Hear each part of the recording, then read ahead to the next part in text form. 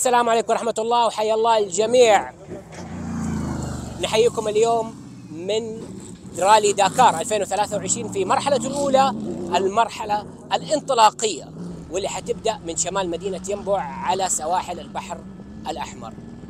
النسخة السنة هذه حتكون النسخة السعودية الرابعة والخمسة وأربعين عالميا لأول مرة من 1979 455 مركبة مشاركة 68 جنسية 8500 كيلو متر حوالين المملكة العربية السعودية في المية تغيير مسار بالكامل غير عن السنة الماضية. ولأول مرة حتكون مرحلة التحدي الأصعب مرحلة الربع الخالي.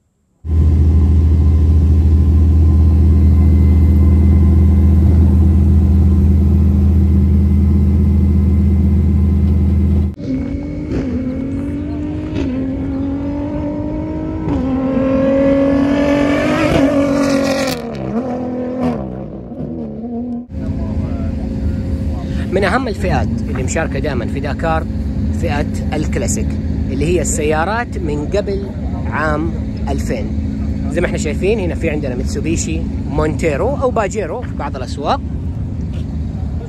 نيسان آه باترول واي 61 متسوبيشي باجيرو إصدار الثمانينات.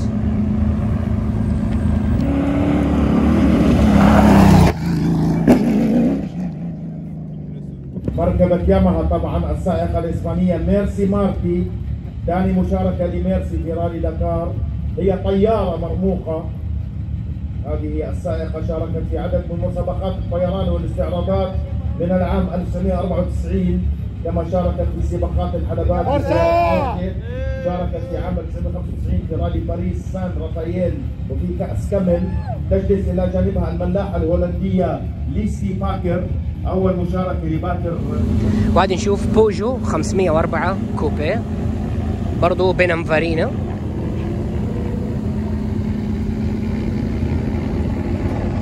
فولكس فاجن كافر أو بيتل.